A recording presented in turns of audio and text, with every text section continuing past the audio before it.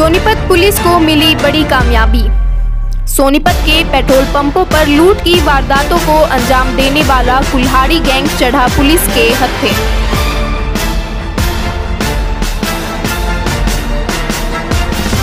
Bike सवार दो बदमाश दे रहे थे लूट की वारदातों को अंजाम। सीआईए एक और सी आई ए दो ने बदमाशों को किया गिरफ़्तार।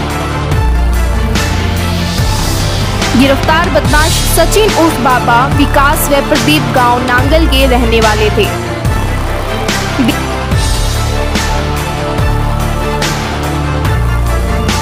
दिल्ली व सोनीपत में पेट्रोल पंपों पर लूट की सात वारदातों को दे चुके थे अंजाम। पेट्रोल पंपों पर सेल्समैन को कुल्हाड़ी से घायल करके देते थे अंजाम।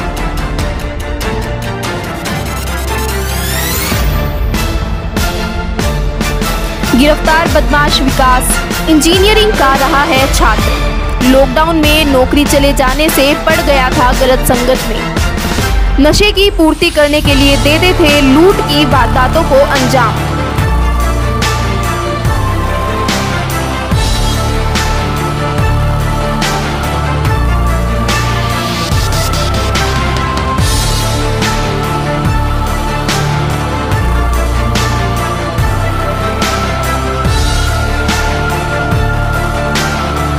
सर, ये देखिए, वो एक पूछताछ का विषय है। कल, क्योंकि अभी कल ही गिरफ्तारी हुई है, अभी रिमांड भी हमारे पास, ये रिमांड पे भी रहेंगे।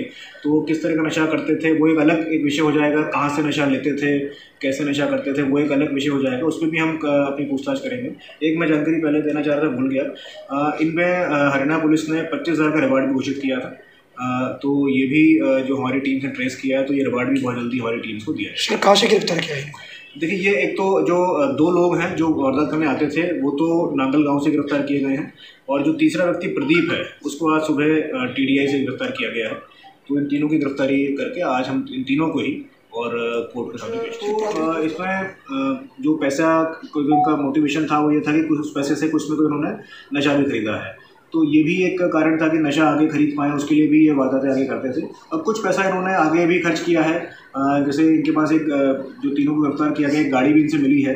आई ट्वेंटी गाड़ी में ये लोग गिरफ़्तार हुए थे। तो उस गाड़ी की रिपेयर में भी खर्चा इन्होंने काफ़ी किया है। अन्य भी जो अपने खर्चे होते हैं, उसको भी चलाया है उसमें तो कहाँ पे, कहाँ कहाँ पैसा इन्होंने दिए? कुछ उधारी भी इनकी पहले की थी, उसको भी चुकाया है। तो सारी जो, जहाँ भी पैसे का इसका आगे डिस्ट्रीब्यूशन रहा है, हम इसको ज़्यादा तक ज़्यादा कोशिश करेंगे कि पैसे को रिकवर करके दें। सर, इनके स्टूडेंट हैं या सर पढ़ाई छोड़ चुके हैं? देखिए, इसमें से एक व्यक्ति जो विकास है, वो तो उस बीटेक है और मैकेनिकल इंजीनियर है। कुछ पूछताछ में उसने बताया कि वो एक यहाँ पर सोनीपत में नौकरी भी करता था और काफ़ी अच्छी नौकरी थी, तनख्वाह भी उसको अच्छी करीब पचास हज़ार के आसपास तनख्वाह उसको मिलती थी। लेकिन बताया उसने कि लॉकडाउन के समय नौकरी उसकी चली गई थी। उसके बाद से वो गलत संगत में पड़ गया ड्रग्स भी लेनी शुरू कर दी तो उसके बाद उसने वारदात को अंजाम दिया है। तो उसमें एक व्यक्ति तो बीटेक है, बाकी दोनों ज़्यादा पढ़े लिखे नहीं हैं तो ये इनका बैकग्राउंड ठीक है ओके अगर आपको हमारी वीडियो अच्छी लगी हो तो वीडियो को लाइक, शेयर व हमारे चैनल को सब्सक्राइब ज़रूर करें। धन्यवाद।